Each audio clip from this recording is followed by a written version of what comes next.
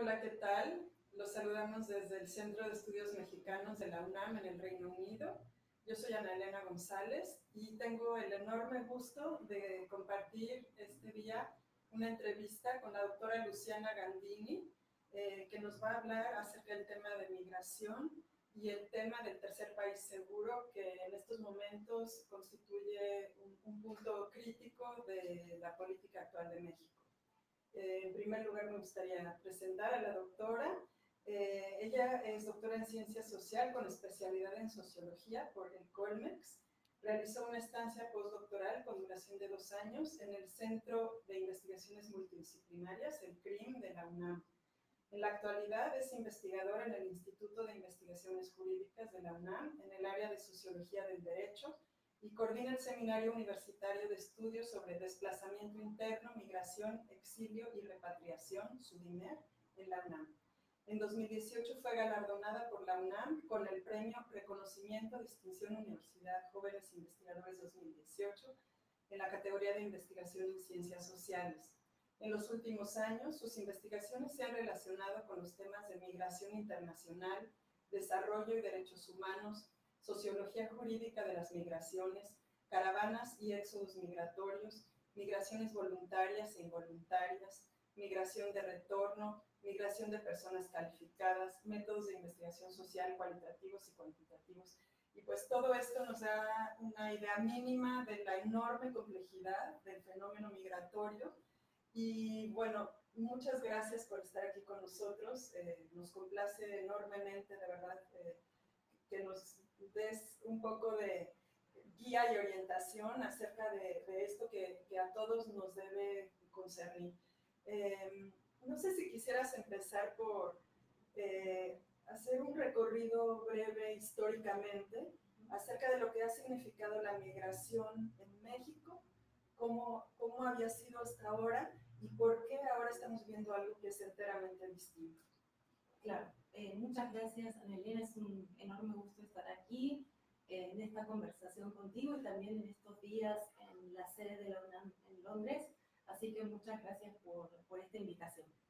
Eh, efectivamente, como decías, estamos pasando por un momento, un escenario sin precedentes para la historia migratoria mexicana fundamentalmente porque cuando pensamos en México y en migración, pensamos a México como un país de emigrantes, y así lo es y lo fue durante mucho tiempo. De hecho, el sistema migratorio entre México y Estados Unidos fue un sistema que se consolidó durante más de un siglo, entonces tiene, es un sistema muy consolidado.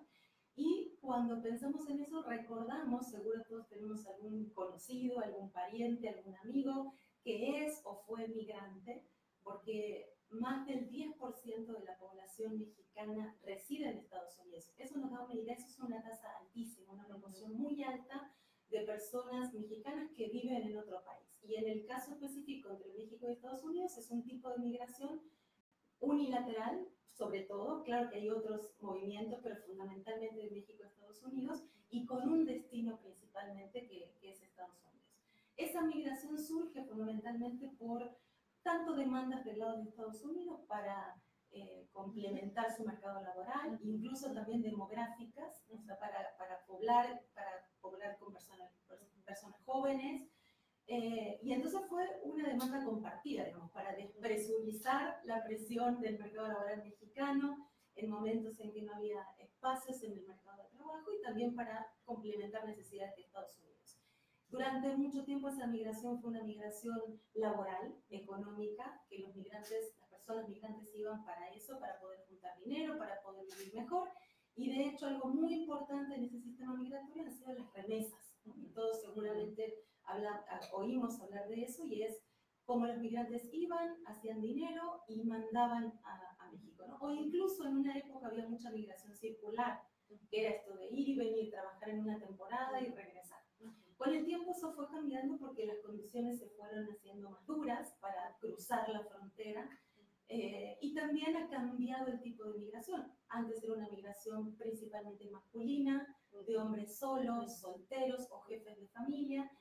Después, por los años 80, se empezaron a incorporar las mujeres como acompañantes fundamentalmente hablábamos de la migración asociacional, o sea, de las mujeres con, con los hombres, y ya en los últimos años es una migración mucho más compleja, de familias, de mujeres solas, incluso autónomas, pero también las condiciones han cambiado. Y quizá podemos mencionar un par de eventos que han sido parteaguas o puntos de quiebre.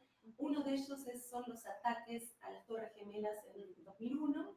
Eso cambia el escenario internacional e imprime nuevas medidas de seguridad y entre ellas impacta a la migración. Entonces empieza a haber muchos más controles fronterizos y, mucha más atención en la disminución de la migración. Y quizás un segundo evento importante es la crisis del 2008, la crisis económica y financiera del 2008, que es una crisis que además tiene epicentro en Estados Unidos, diferente a otras crisis de los años 30, de otros momentos, esta crisis tiene eh, centro en Estados Unidos y se expande hacia el resto del mundo, y entonces también la combinación de cuestiones de seguridad nacional con una con afectaciones económicas, comienzan a ser mucho más difícil la, migración e incrementan las medidas, no solo de control en la frontera, o sea, para cruzar hacia Estados Unidos, sino también medidas hacia el interior, o sea, cambian también el tipo de medidas. Eso implica que se afecta no solo a nueva población migrante, sino a personas que ya residían en Estados Unidos y que por estas medidas de control hacia adentro de la frontera empiezan a incrementarse las deportaciones y el regreso de estas personas. Entonces, ¿qué cambia a partir del 2001-2008 y fundamentalmente del 2008 para acá? La crisis es un catalizador de otras situaciones, o sea, no es solamente la crisis, sino que comienza a ser eclosión todos estos cambios de política migratoria y de seguridad sumados a una recesión económica. Entonces, el escenario a partir de entonces comienza a ser una disminución o un ralentamiento de la migración de mexicanos hacia Estados Unidos, al punto que estamos en este momento en, niveles del flujo, es decir, de esas personas que cruzan en un año de México hacia Estados Unidos, uno de los niveles más bajos históricos. Estamos a niveles previos a 1960. Increíble. Exacto, o sea, si pensábamos en esto hace 10 o 15 años, no hubiéramos imaginado posiblemente este escenario.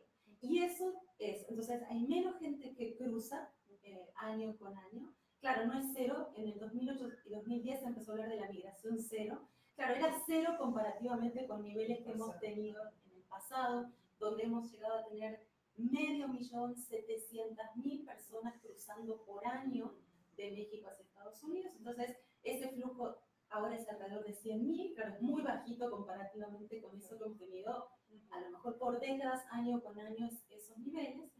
Y entonces este flujo es uno de los más bajos, o por lo menos podemos encontrar estos niveles más de medio siglo atrás. Entonces estamos hablando de un escenario migratorio de mucho tiempo atrás comparativamente. Y el, la otra característica entonces de este nuevo escenario migratorio es el incremento del retorno de población mexicana hacia México. Y este retorno tiene un doble componente por un lado, un retorno involuntario que está fundamentalmente impulsado por deportaciones, es decir, la autoridad es la que envía a estas personas de regreso a casa, pero también hay un componente de retorno voluntario, aunque también deberíamos discutir qué significa esta voluntariedad, ¿no? porque por un lado puede ser por, por la recesión económica y por las dificultades del ingreso al mercado laboral, pero también se combina con una situación de miedo, de persecución, de miedo a ser deportado, o porque un familiar fue deportado. A lo mejor el jefe de familia fue deportado y la familia no puede seguir viviendo, o por las separaciones familiares que hemos oído hablar mucho últimamente. Entonces, es un escenario muy diferente al de tiempo atrás, menos emigración, más retorno y deportaciones, y también complementariamente a este escenario, hay que decir que lo que, si bien ha afectado la situación de la crisis económica y demás, las condiciones en los países de origen, o sea, de donde salen las personas, de donde migran, también han cambiado mucho en los últimos tiempos, no necesariamente para bien, y ha habido un incremento de las condiciones de violencia, de violaciones sistemáticas de derechos humanos, y estamos hablando del caso mexicano, pero también de los centroamericanos, y mucho más en el caso de los países centroamericanos. Eso hizo que esta disminución del flujo de mexicanos hacia Estados Unidos no haya sido igualmente reflejada en la de, centroamericanos hacia Estados Unidos, porque esos contextos de salidas realmente eh, son eh, muy graves, de, de, graves violaciones y distintos tipos de violencias sistemáticas. Y por eso entonces, si bien hubo un decrecimiento después del 2008, los niveles siguieron creciendo desde el 2010, 2012 para aquí, sistemáticamente. Entonces, la migración de tránsito de centroamericanos hacia Estados Unidos, pasando por México, es un tipo de migración que sigue creciendo, a pesar de la disminución de la migración de mexicanos a Estados Unidos, y por eso también las deportaciones han incrementado. Las deportaciones de centroamericanos desde Estados Unidos hacia Centroamérica, y eso también es un escenario totalmente distinto. Es la primera vez que Estados Unidos deporta más centroamericanos que México. Había sido una proporción al revés, era, incluso si pensamos a principios del 2000, era prácticamente 90% deportaciones de mexicanos, y en el año pasado fueron 38% de deportaciones mexicanas y más del 50% de las deportaciones de los tres principales países de Centroamérica, de Guatemala, El Salvador y Honduras. Entonces, Resumiendo, tenemos un escenario migratorio muy distinto al de hace una década atrás, que caracterizó prácticamente al siglo pasado con este fuerte componente de regional, de la migración de centroamericanos a través de México o incluso hacia México. Entonces nos coloca en un nuevo momento migratorio y tenemos que repensar tanto la situación como las políticas migratorias. Y eh, ¿nos podrías describir el fenómeno de las caravanas? Eh, ¿De qué manera se distinguen de, una migración aislada, por boteo, por así, no sé cuál ser técnico, a, a, esta, a este paso tan, tan extraordinario y, que, y también qué mecanismos ha desarrollado un grupo de investigación como el tuyo a través de los observatorios si nos pudieras describir estos observatorios y por qué, eh, cómo funcionan, ¿no? Los ritmos, el calendario, etc. Claro. Sí, y esto metodológicamente imprime también desafíos, ¿no? Cómo estudiar estas nuevas expresiones y cómo hacer para captar la esencia. ¿Esto es algo nuevo o no es necesariamente nuevo? Es una primera pregunta que, que también nos hacemos, ¿no? Porque decíamos recién, bueno, la migración de tránsito por México no es una migración nueva tiene décadas que los las personas centroamericanas traspasan por México. Es más, entre Guatemala y México hay una relación histórica, transnacional, transfronteriza, donde parte de la familia vive en el sur de México y otra parte en Guatemala, o van a la escuela, etc. Entonces, digamos, no es una situación totalmente nueva. Pero, ¿qué es lo novedoso? Y quizás debemos empezar justamente por pensar cómo han incrementado estas condiciones a las que nos referíamos antes de violencia generalizada, de incremento del crimen organizado, del narcotráfico, de las pandillas, de los secuestros, que ha hecho que este tránsito de centroamericanos por México en los últimos 20 años haya sido cada vez más riesgoso. Entonces, lo que, lo que significó eso es que al incrementarse los riesgos, y muchos seguramente hemos escuchado sobre el tren La Bestia, lo que implica cruzar por allí, o sea, el riesgo de caerse del tren, de de perder alguno de los miembros del cuerpo y también de ser asaltado o secuestrado en esta ruta del tren de la bestia que traspasa todo México desde el sur hacia el norte. Entonces, dado este incremento de riesgo, lo que sucedió es que personas migrantes comenzaron a diversificar sus rutas. Dijeron, bueno, si estas rutas ya están cooptadas por el crimen organizado, por los que secuestran a personas migrantes, vamos a ir hacia otras rutas.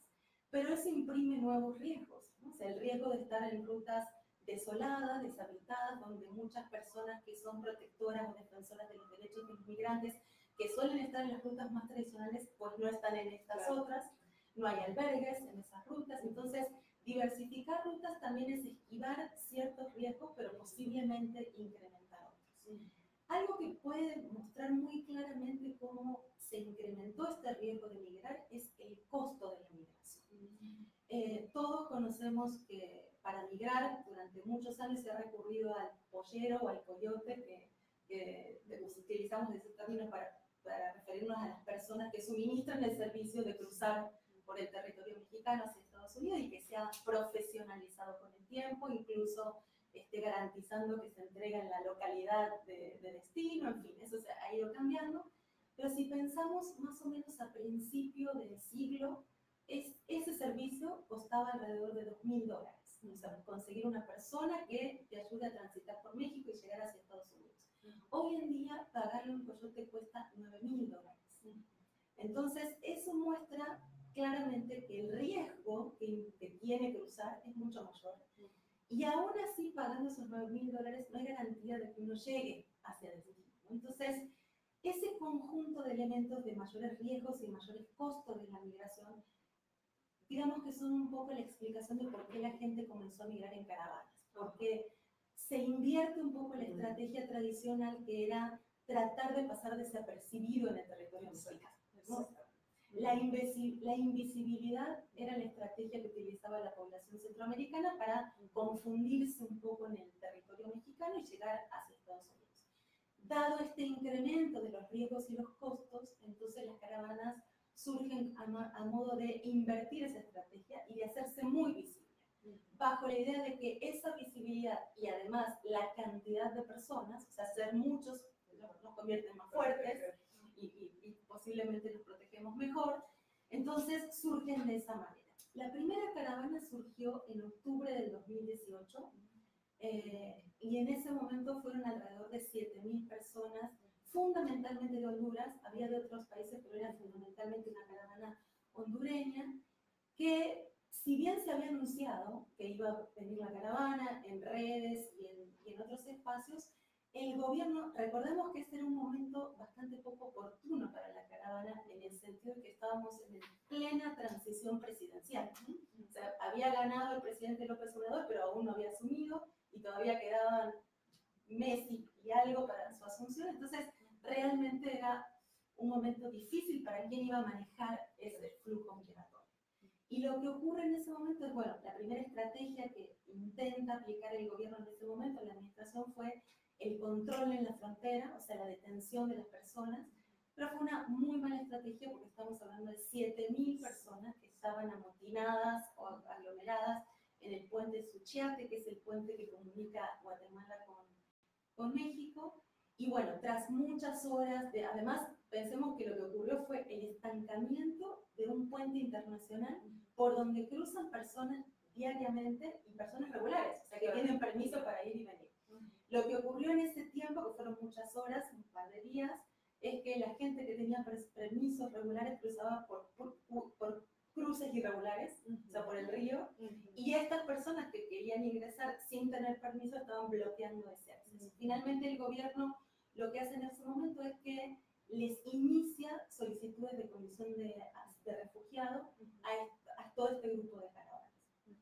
Eh, también eso, digamos, cuando uno habla con los expertos de ACNUR, que es la agencia de Naciones Unidas encargada de, proteger a las personas eh, asiladas y solicitantes de asilo, pues también se cuestiona si era la estrategia adecuada, porque las personas que solicitan condición de refugiados son aquellas que tienen una necesidad específica de protección internacional, donde su vida corre riesgo, corre peligro, este, y su miedo está fundado en perder la vida, y hay unos causales específicos que especifican, que, te, te, hacen sujeto a poder solicitar eso. Entonces, otorgar de manera generalizada, no se otorgó el asilo o el refugio, sino que se les dio para iniciar el procedimiento. Entonces, tendríamos que preguntarnos si era esa la estrategia, pero esa fue la estrategia que adoptó el gobierno. La segunda caravana fue en enero y ahí fueron 13.000 personas, una caravana más generalizada de centroamericanos, de más de otros países. Eh, y aquí el gobierno, recordemos que ahí sí llega la nueva administración del presidente López Obrador, lo que hace es otorgar visas humanitarias de manera generalizada prácticamente 11.000 de esas 13.000 personas tuvieron visas humanitarias y otras 2.000 iniciaron procedimientos de solicitud de refugiado. Eh, claro, ¿qué, ¿cuál es la postura que se, que se adoptó en ese momento? Es una política de puertas abiertas, ¿no? y así más o menos se decía en el gobierno, la Secretaría de Gobernación en ese momento, el propio presidente López Obrador, incluso este Marcelo Ebrard, era el discurso que se manejaba en ese entonces. Pero claro, eso finalmente fue un efecto llamada, porque eh, estando en el puente, y ahora voy hacia la segunda parte de la pregunta, que es cómo implica hacer investigación de esta naturaleza, estando en el puente cuando ocurre la tercera caravana, eh, la tercera caravana también se complementa con esto nosotros así lo llamamos migración por goteo, o sea, que es esta migración este, que, que, que, va antes, después de las caravanas y que ocurre sistemáticamente, ¿no? Frecuentemente. Bueno, después de esta tercera caravana seguía llegando esta migración por goteo, estando en el puente con la delegada de la estación migratoria nos decía, es que llegan grupos de 30, de 50, de 100, y en ese momento llega un grupo de 30 personas, se lo vimos en, en nuestra investigación de campo, ¿Y qué decían estas personas? Es que nos dijeron que aquí dan visas humanitarias.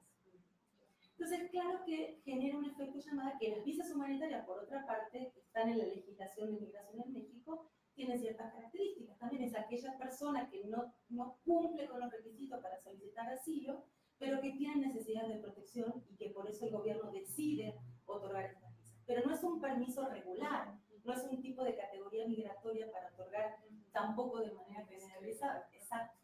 Y en ese momento la Secretaría de Gobernación dijo, no vamos a otorgar más visas humanitarias de manera generalizada.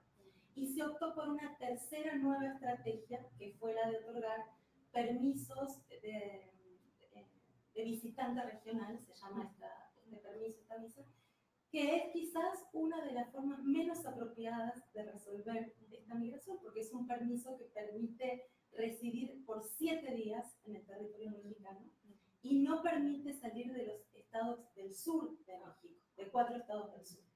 Justo ninguna de las cosas que quieren las personas que migran en caravana, que es transitar hacia el norte de, de, de México. ¿no? O sea, es permanecer solo siete días consecutivos y solo quedarse en el sur mexicano y no otorga permiso para trabajar, a diferencia de la visa humanitaria o si uno adquiere la condición de refugiado. En fin, este reconto nos permite ver, me parece que es lo importante, identificar que eh, las caravanas han sido una nueva expresión de un tipo de migración que no es del todo nueva, pero que ha adoptado una estrategia novedosa y que ha, exigido al gobierno adoptar políticas migratorias o acciones migratorias para dar respuesta, pero que han sido muy cortoplacistas o muy inmediatistas, que quizás coincide con estas características de migraciones más espontáneas, que no estábamos tan acostumbrados, pero que todavía no han dado un poco en el clavo sobre cómo manejar este tipo de migración. Y para los que venimos estudiando este tema, también exige una adaptación metodológica y una adaptación de cómo mirar entonces estos procesos. Definitivamente si queremos entender qué, qué está pasando con las caravanas y qué está pasando con estas nuevas expresiones, necesitamos estar en terreno. Es muy difícil hacer investigación sin ir a la frontera sur o incluso sin ir, eh, estas, al final estas tres oleadas de caravanas se confundieron en algún momento. ¿Por qué? Porque aquellos que estaban esperando que se resuelva su solicitud de asilo, que está tardando en este momento entre 8 y 12 meses, hay un retraso extraordinario, hay un colapso del sistema de asilos eh, desde todo el 2018, eh, pues son personas que finalmente se debaten entre si querían solicitar refugio y quedarse en México o querían transitar hacia Estados Unidos. Entonces, ese estancamiento en Tapachula o en Chiapas, pues no es necesariamente lo que buscaban. Aquí en México hay dos requisitos para, en México, no es aquí, en México, hay dos requisitos para ser solicitante, para tener el procedimiento de solicitud de refugio, que es permanecer en la entidad federativa donde se solicitó, se solicitó el refugio. Entonces, para estas personas es permanecer en Chiapas y además firmar una vez a la semana en Comar, que es la agencia responsable de tramitar estas solicitudes, lo cual implica entonces mucha restricción para esta población que en primera instancia no pensaba quedarse y posiblemente si pensaba quedarse en México no necesariamente en Chiapas. Entonces exige una reconfiguración de, del diseño de la política migratoria que no teníamos preparado en México para manejar población en tránsito posiblemente devenga en población en inmigración, o sea, personas que se quieran quedar en México. Entonces, claramente implica una mirada epistemológica diferente que nos permita seguir el recorrido de, de, estas personas que, como decía, se confundieron porque hemos hecho trabajo de campo en un albergue que se habilitó en la Ciudad de México, donde había trasladadas personas de la primera, de la segunda y de la tercera caravana, ¿no? o sea, personas que abandonaron el procedimiento de solicitud de refugio, entonces se unieron a la segunda caravana y llegaron a... Entonces hay que entender un poco cómo ha mutado el fenómeno y qué ha pasado con esta población. Finalmente ha logrado transitar, ha llegado al norte de, de México o no. Y creo que esa ha sido también una falencia un poco de las estrategias de la política migratoria que no sabemos realmente qué pasó con todos ellos, sobre todo para quienes abandonaron los procedimientos de regularización a través del refugio y sobre todo la estrategia de otorgar algún tipo de permiso o de protección como refugio es regularizar a la población y otorgar certeza jurídica. Nosotros en este momento no sabemos al final de este conjunto de caravanas, que son 30.000 personas en total, en qué condiciones y si tienen o no tienen seguridad jurídica para su residencia en México. Y esto nos lleva a la pregunta clave, el concepto de tercer país seguro y la manera en que se está manejando en política internacional esto dado que es un concepto que al parecer no se había aplicado a México con anterioridad y que está ahora eh, siendo cuestionado eh, la viabilidad de México de funcionar como tercer país seguro. Eh, ¿Nos podrías explicar en qué consiste, qué, qué, es esto de tercer país seguro? Sí, quizá podemos empezar diciendo que cuando uno piensa en política migratoria, piensa que es un asunto de seguridad nacional o de competencia nacional o de soberanía nacional, pero realmente cuando hablamos de temas como migración, implica pensar de manera más regional, porque son asuntos que competen no solamente a los países involucrados, sino también a los países de alrededor, ¿no? Y sobre todo en una región como la que pertenecemos, México, eh, Estados Unidos, Centroamérica, que eh, coexisten en ciertas dinámicas migratorias, pero también tienen mucha disparidad geopolítica, económica, entonces hay que pensar lo que implica una decisión de política migratoria para la región. Y digo esto porque si bien todos hemos escuchado al presidente Trump que eh, desde su campaña e incluso desde el inicio amenazaba con detener la migración, insistía mucho con la migración mexicana, pero ya después le preocupó un poco más la situación de los centroamericanos, y su promesa era el muro, ¿no? un muro que ya existe desde hace mucho tiempo. De hecho, si uno va a Tijuana hay tres muros. El más viejo, el anterior, el nuevo. Entonces sería un cuarto muro, mucho más sofisticado. Y creo que finalmente lo que advirtió la administración de Trump es que el muro ya existía, que esa no, es, no era la estrategia. Y claro, ante una política de supuesta apertura, como la que intentó aplicar a principio de año el gobierno mexicano, eso generó una gran preocupación en el gobierno norteamericano y comenzó ahí sí a intentar que esas amenazas no se vieran solo como amenazas, sino como acciones concretas. Y quizás hay que empezar diciendo que lo primero, la primera acción más o menos firme que, que dice el, el, presidente Trump es que van a incrementar los aranceles comerciales si México no detiene la migración de centroamericanos. Y eso fue eh, hacia fin de mayo, si no recuerdo mal, y tenía un plan progresivo de incremento de estos aranceles del 5% a los 15 días del 15% y así sucesivamente, y se iban a implementar una semana después ¿no? de, de, su anuncio.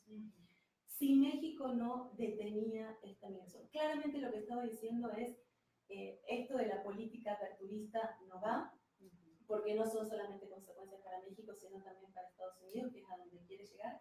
Y esta tercera acción, en la tercera caravana, que fue todavía quizás más confusa, porque otorga un permiso que no es permiso y que al final genera más migración irregular. Si uno tiene un permiso por siete días, pues se va a quedar en condición irregular en el territorio. ¿no? Si, si lo que quieres es seguir, no vas a retroceder. Entonces, ese tipo de acciones preocupó mucho al gobierno norteamericano y entonces esa fue la primera acción. ¿no? Eh, ante eso, claramente el gobierno mexicano eh, Marcelo Ebrard en concreto viajó a Estados Unidos y hubo un acuerdo respecto a que efectivamente México iba a colaborar en detener esta migración. Hay que decir que unas semanas anteriores a esto comienza a actuar la Guardia Nacional, que es esta, es, es muy importante porque el accionar este fue un poquito anterior y es una nueva fuerza que tenemos en México, que en teoría es una fuerza de carácter civil, pero que en la práctica opera de manera mucho más difusa o confusa. Incluso su vestimenta es la, vestimenta del ejército, solo que tiene aquí unas iniciales de Guardia Nacional. Entonces es una fuerza confusa en términos de sus atribuciones.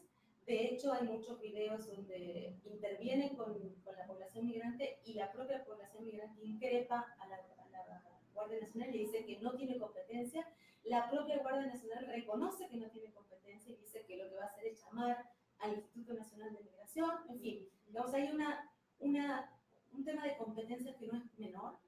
Y esta Guardia Nacional comienza a accionar, nosotros la vimos en la frontera justo antes de que fuera este acuerdo y lo que hacía era actuar de manera paralela al Instituto Nacional de Migración, al Ejército, a la Policía Federal y la Guardia Nacional. Es decir, uno podía llegar, de hecho, en el aeropuerto de Tapachula estaban las cuatro fuerzas, una al lado del otro, para pedir papeles. ¿no? Y, y, en un aeropuerto tan pequeño como Tapachula, con un metro de distancia, te pedían este, cuatro veces los papeles de residencia o, o, que acrediten que uno es mexicano, que tiene permiso para, para residir. Entonces, bueno, ¿por qué es importante este primer antecedente? Porque eh, junto con esta amenaza, también lo que, el acuerdo, que no queda del todo claro en qué, en qué se comprometió exactamente México, pero fue una, una situación intermedia entre ser y no ser tercer país seguro, que es que aquellas personas que estuvieran solicitando asilo en Estados Unidos, centroamericanas, podían esperar durante todo el procedimiento de aceptación y de tramitación de esta solicitud, no podían, debían esperar del lado mexicano. Eso está sucediendo en Tijuana, en Mexicali. Entonces, no es exactamente el papel de un tercer país seguro, que ahora vamos hacia eso, sino que no se deslindaba totalmente Estados Unidos de su responsabilidad con el derecho de los solicitantes de asilo, pero se deslindaba de parte del proceso, donde le otorgaba esa responsabilidad a México. Esta semana tenemos una nueva situación con medidas que, que eh, propuestas por el presidente Trump, que son, ahora sí, que México actúe como tercer país seguro. No solamente México, sino también Guatemala y otros países de la región. ¿Qué significa esta noción entonces de tercer país seguro? Significa que hay un primer país, que es el país de donde sale eh, la población, la población migrante que sale en condiciones de ser solicitante de asilo, es decir, que está perseguido, que tiene miedo por algunos causales específicos que establece eh, la legislación. Y el tercer país, el segundo país es el país al que se quieren dirigir, en este caso Estados Unidos. ¿Cuáles son los terceros países? Son países que quedan en medio entre el primer país y el, y el segundo país, que es el que se quiere solicitar. ¿Cuál es la nueva medida que acaba de, estipular el presidente Trump? Que ahora hay todo un debate sobre si se va a impugnar o no se va a impugnar. De hecho, hasta recién revisamos las noticias sobre eso. Es que no va a aceptar solicitudes de asilo de personas que hayan transitado por un tercer país seguro. Es decir, que si, esa, si una persona guatemalteca pasó por territorio mexicano y llega hacia Estados Unidos, no Estados Unidos no le aceptará la solicitud de asilo, excepto que esa persona haya solicitado asilo en este tercer país seguro y ese tercer país seguro se lo haya rechazado. Esa es la única. ¿Qué quiere decir? Que básicamente está limitando las solicitudes de asilo para todos los, centroamericanos, porque en medio está México, ¿no? Y para, para aquellos que sean de El Salvador, Honduras, pues tendrían que hacerlo en Guatemala. ¿Cuáles son las dos únicas excepciones a esta situación? Una es que las personas sean este, víctimas de trata, eh, de trata de personas, y ahí hay toda una especificación eh, sobre ello. Y la segunda es que el tercer país por el que pasen no sea signatario de la Convención de Refugio de 1951, que no es el caso porque todos los países son signatarios de la convención, o sea, los países centroamericanos y México mismo. De hecho, en América también hay, tenemos una este, declaración, de, la Declaración de Cartagena, que es de 1984, que es nuestro marco regional sobre el refugio, que de hecho es un marco mucho más amplio y más generoso que el de Ginebra del siglo pasado. En fin, lo que, la situación es que la excepcionalidad no se cumple porque aquí los terceros países, los que están en medio, de, Estados Unidos son países signatarios de la convención. Ahora, ¿qué significa seguro? Y esa, esa es quizás la pregunta que nos tenemos que hacer. Cuando decíamos al inicio de la conversación que una de las características del escenario actual es el incremento de las violencias generalizadas, el incremento sistemático de las violaciones de derechos humanos, y ese es un escenario en Centroamérica, pero también en México.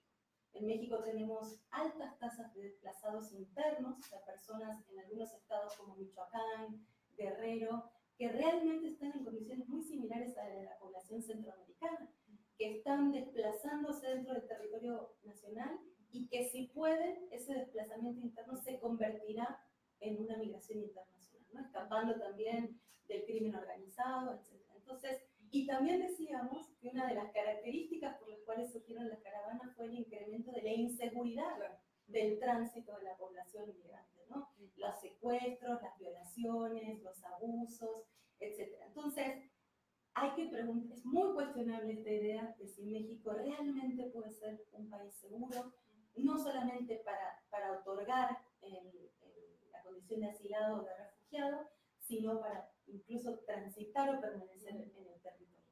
A esto hay que decir que eh, el colapso que mencionábamos hace rato del sistema de asilo es una característica quizás de varios de los países de América Latina por esta nueva reconfiguración de los flujos, por este incremento de las migraciones involuntarias o forzadas, que han llevado a que estas personas migrantes pues sean consideradas, están en condiciones de solicitar protección internacional. Entonces los sistemas de asilo están colapsados por la cantidad de solicitudes que tienen y el rezago en la resolución de estas solicitudes. Entonces es un contexto muy adverso para la migración y un sistema legal de protección colapsado para otorgar también esta protección internacional. Entonces, ese es el contexto en el que se encuentra nuestro país, México, como país seguro. No, bueno, eh, qué, qué, complejidad del asunto. Y bueno, me hace pensar en justamente temas de, de derecho internacional y de soberanía nacional y de qué manera el gobierno mexicano o las instituciones pueden enfrentar un fenómeno de esta naturaleza en toda su magnitud y su complejidad, em, tomando en cuenta la proximidad cultural que tenemos, ¿no? Eh, los latinoamericanos, y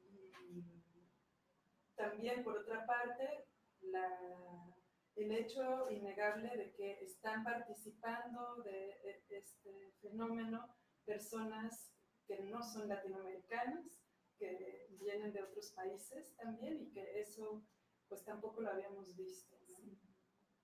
Sí, ahí creo que el desafío eh, claramente es un desafío que lo hemos dicho muchas veces, incluso en otros contextos, pero hoy en día salta claramente a la luz y tiene que ver con el diseño de un sistema de gestión de la migración regional y multilateral. O sea, es muy difícil hoy pensar cómo se gestiona un flujo migratorio de esta naturaleza, con características de migración forzada, regional e intercontinental, como bien lo dices. ¿Cómo gestiona un único país esta situación? Es prácticamente imposible. Y lo que estamos viendo es que estas medidas medidas que toma un país afectan a segundos y terceros países. Entonces, claramente hay que repensar este sistema de gestión de la migración. También decir que mm, ser un tercer país seguro como medida aislada, o sea, este lugar o este rol de México como tercer país seguro, seguramente no va a ser una medida eficaz de manera aislada. Y también incremento de aranceles, por ejemplo, que es una, una sanción económica finalmente, o estas restricciones como tercer país seguro, no son acciones que vayan a detener el flujo migratorio. Y eso lo tenemos que tener claro, por lo que venimos conversando. No es una migración que no va a mejorar su ingreso para ahorrar para construir una casa, para estar mejor que como estaba, este, para enviar remesas. Es una migración que está tratando de salvar su vida o sea, que migra cuando uno está, y eso se comprende hablando un poco de qué significa hacer investigación en este contexto, cuando uno está en el puente internacional y ve venir incluso adolescentes migrando solos, eh, con lo puesto. O sea, lo único que traen es la ropa puesta, la mayoría no traen ni siquiera una mochila, no traen absolutamente nada. Entonces la pregunta que nos tenemos que hacer es, ¿en qué condiciones tiene que estar una persona para emprender un viaje y cuando llegan al puente de Guatemala y, México, vienen de Honduras hace 15 días que vienen caminando. Entonces, ¿en qué condiciones tiene que estar una persona para decidir migrar? Entonces, eso me parece que no es para nada menor porque nos pinta un escenario migratorio que no es fácilmente eh, cambiante y mucho menos con estas medidas aisladas. Hay que pensar en un sistema de gestión de la migración mucho más complejo y de responsabilidades compartidas. Y aquí es donde medidas como la de Estados Unidos pues no están diseñadas desde esta concepción de responsabilidades compartidas y de sistema de gestión de la migración este, regional. ¿no? Por otra parte, ser tercer país seguro también implica cargas económicas, financieras, de responsabilidades también en materia de derechos humanos, porque eh, atender a la población migrante significa atender en condiciones dignas o mínimas de garantía de derechos Entonces, los desafíos que se vienen son muchos y tienen que ver con diversas aristas económicas, financieras, de derechos humanos, pero sobre todo me parece que el gran desafío es cómo pensar en un contexto tan desigual de relaciones entre países de poder y entre países tan desigual, en un sistema de gestión de la migración regional, multilateral, compartido y de responsabilidades que no recaigan, además en México, como decíamos antes, que posiblemente no tengan los recursos para convertirse en un lugar seguro para, para esta población. Y la vinculación entre la academia y la implementación de políticas, ¿tú crees que pueda existir una comunicación? De hecho, debe existir ya, pero eh, con ¿de qué, de qué manera se puede eh, participar a, nivel universitario, a nivel ciudadano en, en, esto? Porque yo creo que sí implica una, eh, un acto de civismo importante. Por supuesto, sí, por supuesto. Aquí las sinergias son imprescindibles. De hecho, gran parte del trabajo investigativo eh, que hacemos en la frontera sur, eh, en gran medida se lo debemos a las organizaciones de la sociedad civil que están en terreno día con día y que son nuestros aliados y los que nos permiten también ver cosas que no podríamos ver si no tuviéramos a los aliados estratégicos que están día con día ahí que trabajan directamente con la población migrante, que incluso tienen permisos para ingresar a la estación migratoria. Y eso es muy importante porque permite tener un conocimiento de qué es lo que está pasando ahí adentro, que eso eh, da para que tengamos otra charla en algún momento, porque eh, justo por lo que decía antes, tener a la población detenida en las estaciones migratorias no solo es detener o deportar, sino en qué condiciones ocurre eso. Y las condiciones en las que están ocurriendo en la frontera sur son verdaderamente graves de graves violaciones a derechos humanos, de insalubridad, de, hacinamiento, etc. Entonces, tener estos aliados de la sociedad civil nos permite ver de manera con, ojos complementarios. ¿no? Eso es bajo la defensa de los derechos de las personas migrantes, hacen un extraordinario trabajo y de manera conjunta me parece que tenemos una visión que nos permite también recomendar a los hacedores de política migratoria, de política pública en general, sobre qué es lo que se puede hacer. Desde el inicio de esta nueva administración ha habido varias instancias de diálogo para la generación del plan de desarrollo de, la administración, mesas específicas sobre el tema migratorio, incluso reuniones eh, entre sociedad civil, academia y, gobierno. Eh, creo que esa, esa instancia de diálogo no solo no tiene que desaparecer, sino que se tiene que fortalecer porque, como decías, o sea, las miradas son distintas y se complementan muy bien sea, lo que vemos a veces de la academia, si no nos llama la atención eh, las personas de la sociedad civil, no veríamos. Y me parece que también un poco de eso le pasa al que está en la administración central, por ejemplo, que puede no tener exactamente la visión de lo que ocurre en las distintas subdelegaciones migratorias o delegaciones o puntos de internación. Entonces me parece que hay que fortalecer el diálogo para poder construir, y creo que hay un enorme interés tanto de la sociedad civil como de la academia en poder contribuir al diseño de una política migratoria integral que verdaderamente nos ayude también a pensar no solo en el corto plazo, porque esto nos está exigiendo un poco salir de la situación coyuntural. Pero ¿qué pasa después? Y, y, ahí el gran ejemplo es lo que ha pasado con la migración venezolana en América Latina, que nos ha sorprendido, en dos años se ha disparado. Prácticamente los venezolanos tienen la misma cantidad de personas viviendo afuera que México que hace 100 años que, que, que migran, ¿no? y los venezolanos tienen una historia a través de inmigración. Entonces quiero poner de ejemplo cómo un fenómeno migratorio puede transformarse de manera explosiva este, y exponencial, y eso ha implicado que todos los gobiernos de la región tengan que responder, por ejemplo, a esta migración de venezolanos. ¿no? Pero claro, han sido también medidas muy cortoplacistas, muy inmediatistas, se entiende por el fenómeno, y ahora lo que estamos repensando en todos los gobiernos de la región es qué hacemos con esta migración de venezolanos, que le dimos un permiso por un año, pero no se van a, esto no se soluciona en un año. Estas personas se van a quedar aquí, se tienen que insertar, se tienen que integrar, me parece que el paralelo sirve para pensar en el caso de la migración centroamericana y de, de los solicitantes de condición de refugiado, ¿qué vamos a hacer con esa población? Y creo que hay, hay muchos desafíos para México, que es un país que históricamente, como decíamos al inicio, fue de emigración, pero que ahora tiene que pensarse seriamente como un país de tránsito, pero también de destino. Ya ahora con, con, el reconocimiento de tercer país seguro, pero antes de eso, ya uno preguntaba en la frontera, ¿y tú a dónde quieres ir? Y las personas, estas personas que están huyendo de la muerte, dicen a donde sea. Entonces, originalmente en Estados Unidos, pero comenzaron también a pensar en México como un lugar.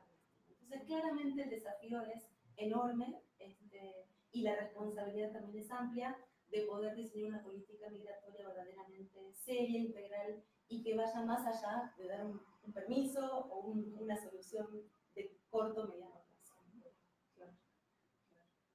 Eh, bueno, pues eh, es, es verdaderamente estremecedor ¿no? el panorama y sí pone eh, un, un, desafío enorme también, un ejercicio de perspectiva, ¿no? tratando de, de imaginar eh, lo que puede suceder y, y, las maneras que tendremos de, de atenderlo. Ahí, pues sí se están rompiendo moldes, ¿no? las, las facilidades de comunicación que existen en la actualidad, que no existían en otros tiempos. Eh, no sé, no sé si tenemos alguna pregunta de parte del público. Okay. Eh, bueno, pues creo que hemos cubierto bastantes temas y creo que los has expuesto con una claridad extraordinaria, dada su complejidad. Eh, entonces, eh, pues te agradezco muchísimo esto, que estoy segura que al público le va a interesar también, ayudar a aclarar y también a que todos asumamos nuestra responsabilidad individual, cívica, ¿no? ante esta situación, sobre todo de tener conciencia de lo que está pasando y felicidades por el trabajo que está realizando el SUIMER. Muchas gracias. Eh, y, y, bueno, muchísimas gracias. Al contrario, como decía al inicio, un gusto poder platicar aquí contigo. Gracias, Muchas gracias.